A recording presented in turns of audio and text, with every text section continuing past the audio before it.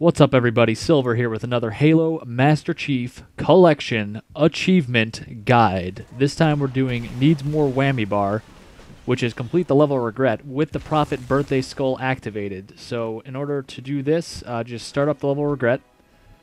Uh, throw on whatever difficulty you want. I put it on easy. It could be done on easy. Uh, and you put on whatever skulls you want as well. So I threw on uh, Bandana, Prophet Birthday uh, Skull, obviously. You need that one. Uh, I put on Bandana, uh, Scarab, and Envy to make it way easier, even though it's already on easy.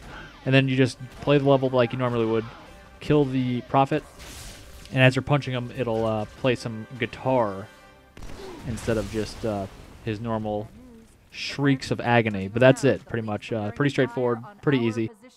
Click like, click subscribe, and leave a comment. I'll see you guys later.